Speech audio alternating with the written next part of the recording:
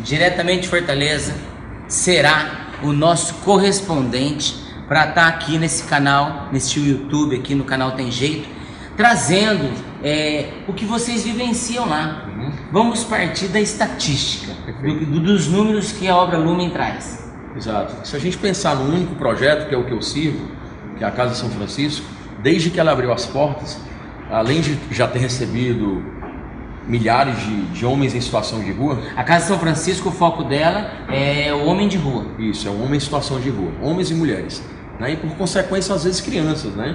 Porque eles levam crianças para as ruas. Os filhos deles. Isso, isso. Então, a, a, a, é, é, essas pessoas, eles têm um momento, eles têm um contato com a pessoa de Jesus Cristo e muitos se sentem chamados e tocados a topar, principalmente os que têm problemas com droga e álcool, a passar uma temporada nas comunidades terapêuticas. Se internar, é assim Isso, que fala? É, se internar, exato.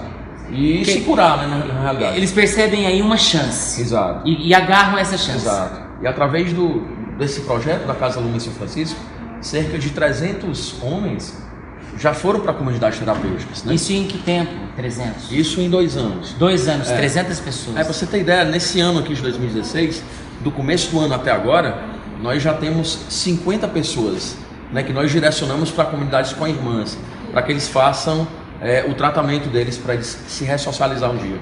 E o trabalho é lindo, o trabalho é bonito. Além de acontecer esse resgate, a pessoa desejar agora querer buscar uma ajuda e querer ficar um tempo numa casa de recuperação, essa pessoa é acompanhada por eles. Claro, é trabalhoso e exige ter mais pessoas. É aquilo, né? A messe é grande, os operários são poucos, mas acompanham. Quando essa pessoa sai, querem também somar para inserir essa pessoa no mercado de trabalho. Essa pessoa também tem um, um apoio de um grupo de oração para cuidar da espiritualidade. É muito empenho, é muito amor.